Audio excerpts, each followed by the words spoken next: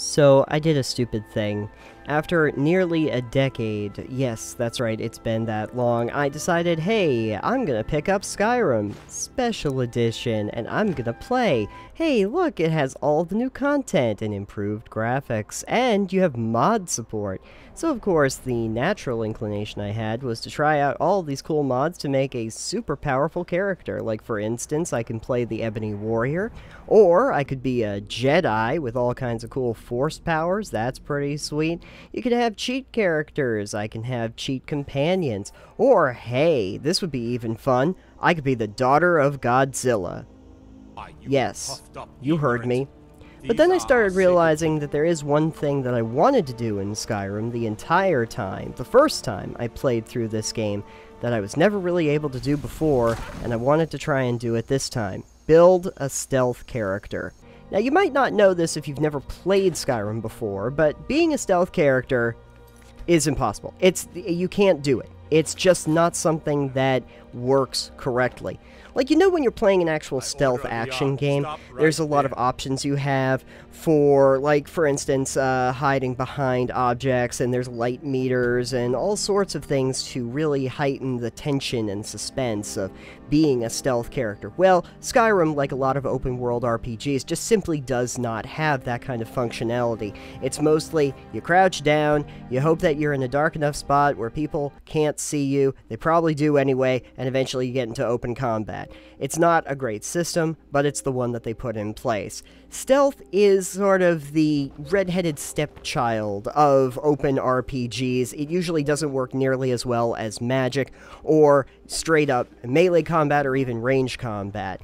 But now, I realize that there is a way that I could make a completely legitimate character with no mods, with no cheats, just by exploiting the fact that Skyrim is still kind of broken after all these years.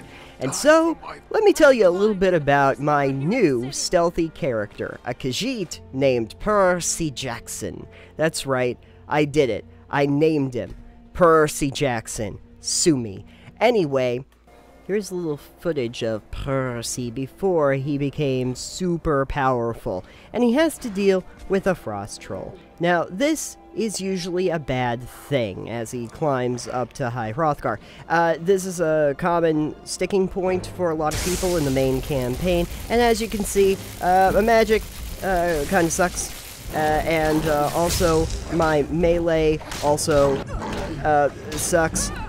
Now you can see when he starts hitting me that it is not good and he uh, he's taking me down quite a bit, so I have to down a bunch of health potions to stay in this. Uh, this this is uh, not easy to do.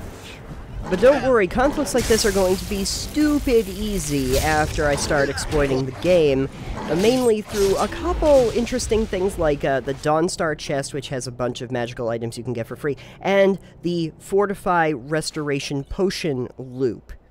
Now, if you're not familiar with this kind of loop, uh, I recommend that you go and watch a video that the Spiffing Brit did, where he laid this all out and made a fork one of the most powerful weapons in the game. This is basically the same thing, so I'm not going to take you through the whole loop. The basic thing you need to understand is that by exploiting, uh, making the Fortify Restoration Potion over and over again, you can eventually cash it in and make some incredibly powerful potions of enchanting, which then basically makes the sky's the limit. You want uh, super powerful enchantments on your armor, your weapons. Uh, you want to create a necklace like I did that gives you an insane percentage increase in potency to your alchemy and smithing skills.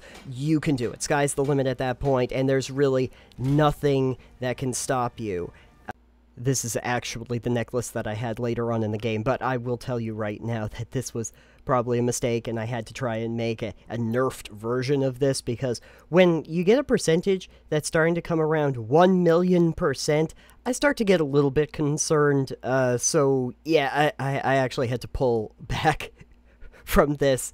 But, uh, whoo boy.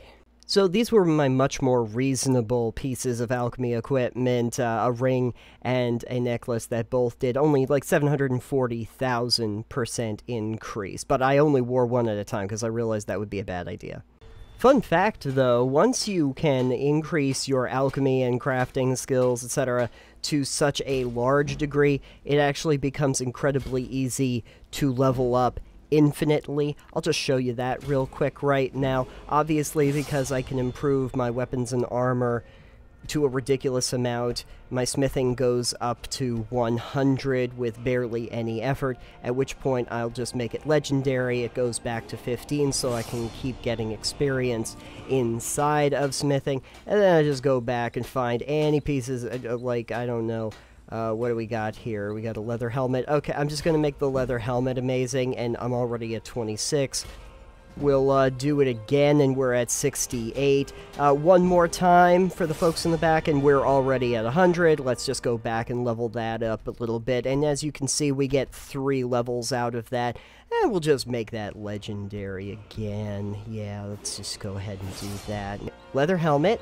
Again, just takes one leather to do that. Uh, again, we'll just increase it. And again, we're at 68. One more.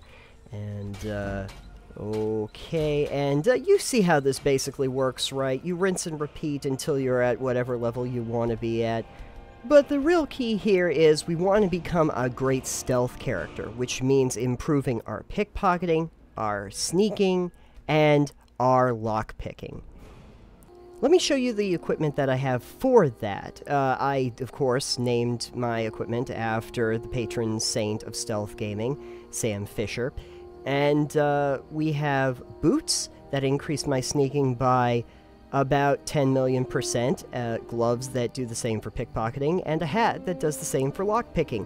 And so this is pretty great. Uh, you know, you can uh, make this pretty much as high as you'd like. I did just say that I was a little trepidatious about going over the million point, but I guess we're 10 million. We'll just say 10 million. That's that's kind of like a break point. Okay, so we have our Fisher set equipped, and we are in stealth mode. And let's see if they can see me at all. Okay. They are... Oh, there we go. I just walked right up in front of him, and I got a stealth kill with my two little iron daggers. That's great. Uh, okay, so you're gonna notice they're actually not attacking me. They're just attacking Lydia. Uh, because she doesn't have this amazing stealth equipment, and it sucks to be her. Just gonna do a little bit more improvement. Let's just make alchemy a legendary skill again, and uh, I don't know, make any potion, really, just to fortify conjuration. And instantly at 100. Okay, great. Let's just go back and do that loop again. How many levels did I get this time? Two? Okay, well, Boy, it's a good thing I only had one of these equipped. oh yeah. I can make a potion of paralysis that lasts for 31,000 seconds. That that can't... Oh, no, sorry. I have one that will last for 44,000 seconds now that I'm Alchemy 100. That... That's not broken. That's not broken at all. Uh, but... Oh, hey! We reached level 100. Perfect. This is... This is fine. Now, I did put together some equipment that buffs out my health and magicka and stamina to a really unnecessary degree, which is great for straight-up combat, as you can see right here. Uh, just like, ooh, hey, Dryad, and uh, not even feeling it. Also, my sword will basically one-shot everything, because my crafting is insane. But enough of this foolishness. It is finally time to look at what happens when you go stealth through one of the many caverns in this game. Into this cave system we go, our stealth gear is on, and we are in sneak mode, and I have relieved Lydia of her duty so that nothing should be provoked by my approach if the nearly 10 million percent increase to my sneaking ability is to be believed. And here we have another frost troll. Oh, I remember your friend from back in the day. Now, I am going to be directly in front of the Frost Troll. Hello? Can you... Hello? How close can I get to the Frost Troll? Oh. I guess it really didn't matter. I still got a sneak bonus. I still did a sneak attack on him when I was nose to nose. Ooh, I can pick up some cave mushrooms. Let me go ahead and do that. Oh, hey, there's another troll. Don't mind me. He is completely oblivious to the fact that I'm even here. Look, look, I'm just gonna walk past him. I feel bad for him. I'm literally waving a sword in front of his face. Hello? Hello? I'm in the light. Yeah, not so tough now, huh? Oh, there, that's a good one, right there. Sneak bonus. Well now, normally, if I were to open this up, I'm sure something terrible would happen. Okay, oh, oh! Now the Falmer would normally just be descending upon me and I get into this major fight. But instead, they're just looking bemused at the chest, wondering who this magical spirit could have been that just robbed them blind. Oh, I'm sorry, I'll move out of the way for you. Uh, yeah. So now they're just scratching. He literally is scratching his ass thinking about this. Can't figure out what happened. Um, okay. So now, if I just go ahead and kill one of you, Yep. Yeah, I I just I just killed him. Yep. And I'll kill you too. There we go. Oh, oh, the eye's opening a little bit. Okay. Um Yeah, no. Nothing? Not nothing at all. You have nothing to say to that. Okay. Well, bye now. Alright, the Falmer are just completely oblivious that I'm here. I'm just gonna take everything off this corpse you're looking at. If that's okay. Thank you. I'm just gonna move him around. Look, just, yep, move him right in front of you. Nope. Okay, let's test out lock picking. This is an adept chest. And I'm not gonna move the pick at all. And it's open. Okay, so obviously melee works really great, especially with daggers, because you get such a great stealth bonus. But what about the bow? Bows usually aren't that great in Skyrim, but I have my Rambo. Yes, I like puns. Which does an inordinate amount of damage. I know it says right here that it does 106 damage, but that is actually not right because you're going to see down here my total damage is actually 106,121. Uh, the only reason it doesn't display that number up top is because the game never imagined you would need more than three numbers to display the damage you could do. Oh my goodness. Oh, and also I enchanted it so it absorbs, uh, what is that number? 4.6 million points of health, so there's that. So let's just line ourselves up a shot and see how this works out, and yep, basically what you thought was going to happen, right? I don't know why I made this. It's That's completely unnecessary. I'm never going to use this. Now, surely using magic would alert enemies to my presence, right? Like, these Chaurus hunters are definitely going to notice that I am electrifying them. Okay, Nothing? There's... Okay, what about if I tried a different spell? What if I tried to set you on fire? Just staring at me with blank, stupid looks on your faces? While I increase my sneak and destruction capabilities? I don't imagine this is the way that Todd imagined I should be playing Skyrim, but I think we can all agree it is the best way to play Skyrim. And oh, my destruction is 31 now. Excellent. Witness me! Just... Witness me! oh... This is just sad. Oh, here we go. Here we go. Something cool's gonna happen. Alright. Oh, spider's down. Yeah, did you see that? Okay, what happened there? Okay, I gotta aim higher. Yeah, okay, good. Oh, oh, oh! You're right up in my face, huh? What is a spider? Nope. False alarm, everybody. Back to business. As usual, just crawling around our cave. There. Okay. You, again, this spider is so confused. Well, that's okay. The arachnophobe in me is avenged.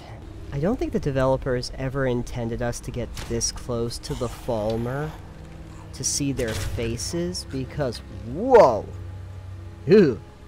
Time to do some lock picking. Put on my special hat, expert level chest, and it's open now. Perfect. So yes, by using all of the amazing exploits in this game, you can dominate at stealth to a stupid degree, and you don't need to use mods, you don't need to use console commands. In fact, I'm still gaining achievements for doing stuff in this game with this character, which is pretty incredible. Who is this?